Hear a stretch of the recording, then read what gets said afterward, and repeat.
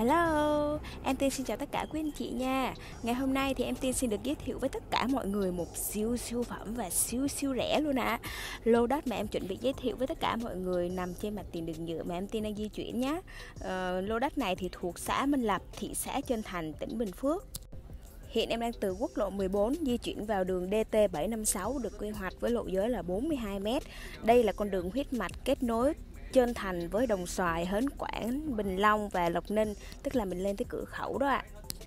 Nếu mà từ trung tâm hành chính thị xã Trân Thành tới đây thì mình đi tầm khoảng 10 phút thôi ạ.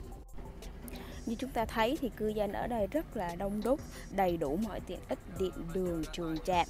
Vì đây là đường huyết mạch nên xe cộ đi lại rất rất là nhiều và như mình thấy trên đường này mình đi từ nãy đến giờ thì có rất rất là nhiều cây xăng nha từ quốc lộ 14 mà mình đi vô tới vị trí lô đất của mình á, thì mất tầm khoảng 7 phút thôi mấy anh chị, là tầm khoảng hơn 6 cây số đó Trân Thành chính thức lên thị xã vào ngày 1 tháng 10 năm 2022 và đang cố gắng phấn đấu tới năm 2030 sẽ lên thành phố công nghiệp.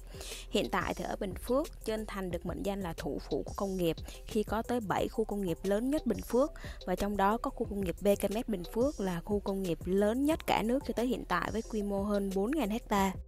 còn đây là cầu suối nghiêu nha mấy anh chị. Từ đây thì mình đi khoảng 3 phút nữa là tới vị trí đất của mình rồi nha. Cầu này á, thì sau này mình sẽ được mở rộng và sẽ được trùng tu lại.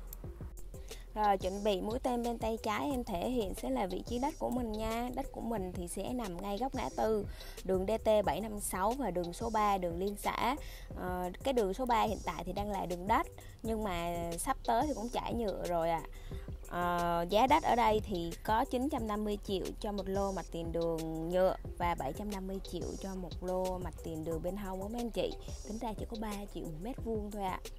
thật sự với giá 3 triệu cho một mét vuông đất thì bây giờ rất rất khó có thể kiếm được một lô đẹp như thế này ạ à. vừa sổ sẵn sang tên liền có sẵn thổ cư lại là đất thuộc thị xã nữa